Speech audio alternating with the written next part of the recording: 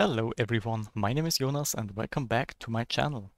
Um, in this tutorial series we will develop a 2D platformer game with libgdx um, for desktop only.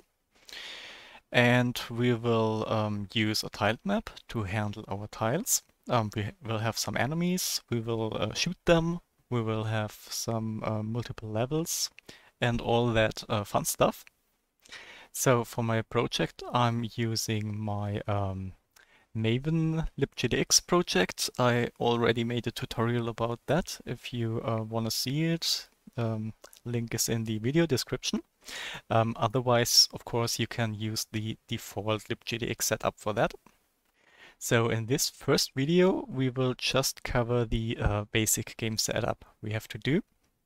So uh, this is my uh, desktop launcher class. I already created a core package for the boot class and the desktop launcher. Um, we have some basic configuration here, like uh, width and height and uh, idle FPS. And I created a new boot class, which extends the libgdx game class. So, and here we will start. Um, this will be pretty much the same like in my last tutorial series. So we go through that uh, pretty quick. Um, we will have our boot class again as um, a singleton class. So public static boot instance and we want to have our game width and height in here width screen and height screen and our camera Orthographic camera. Okay. Public boot. Instance this. Okay, and now in our create method, we need the um, screen resolution. gdx dot graphics dot um, get width. Right screen x dot graphics dot get height. Now we can create our camera object.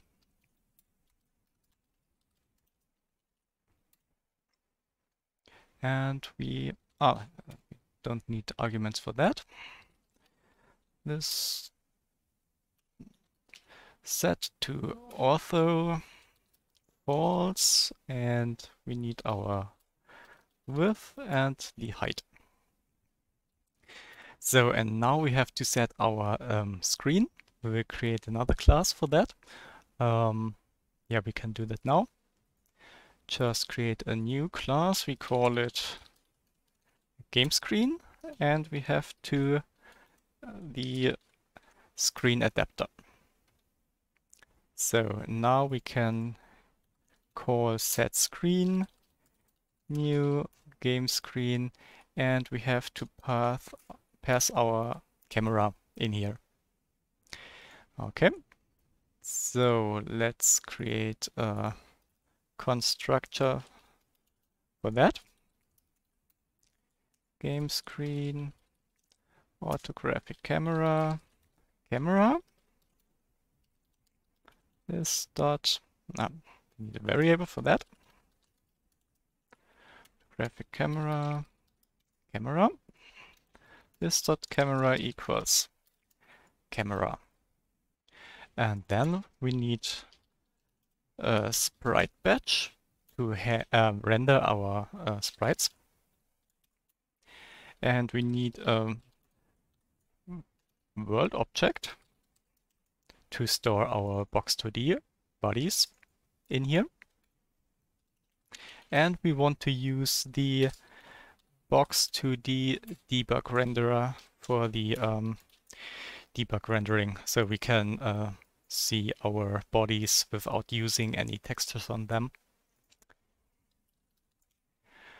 This dot batch equals new sprite batch this dot world equals new world and we have to pass a vector 2d with the um, gravity for x and y. So we set it to 0, 0 for now.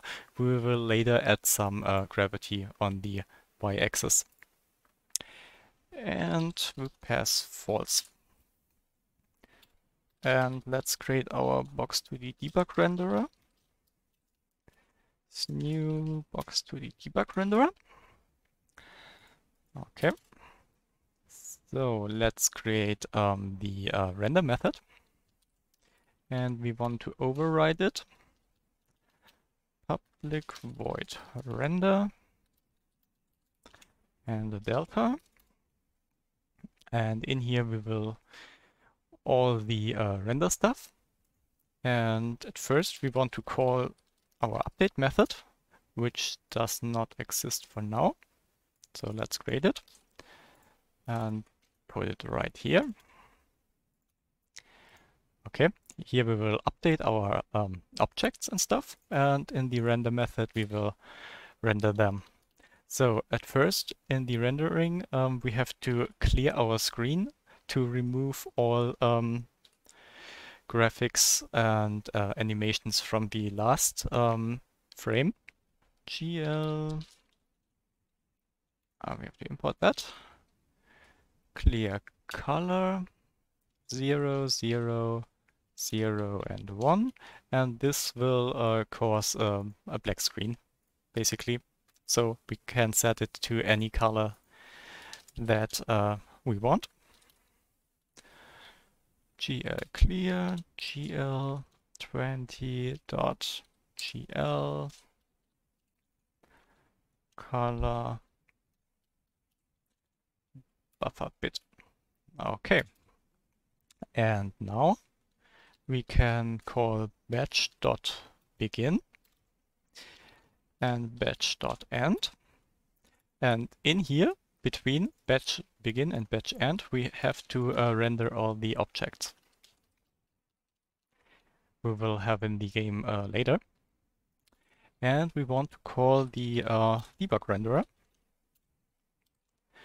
We pass world and camera dot combined dot scale ppm and we have to create um, a, final constant for the pixel per meters we want to use in the game. And for that let's create a new package. Let's call it helper. And create a new class. Constants. Um, public static final float ppm equals 32. Okay, now we have a pixel per meters for our box2d world. So let's import that. And now we can um, create our update method. So in here we want to um, create a step for our world. 1 by 60 because we're using uh, 60 FPS. And 6 and 2. And then we have to set our batch to set projection matrix camera dot combined. And we want to add something more. Um, when we press escape, we want to uh, close our game. So let's put it right here. Is key um, pressed. Input dot keys dot uh, what class escape. Okay, and in that case we want to call gdx.app.exit. So we can close the game when we press um, escape. Yeah, and we can implement the uh, camera update. So we don't need that now, but we will definitely need it later. For our camera to uh, follow the uh, player. Private void camera update. And in here we want to set a new position for our camera. Camera dot position dot set and we have to pass a vector 3 and for now we just set it to 0 0 and 0 and we have to call camera dot update. Okay. So let's uh, run our game.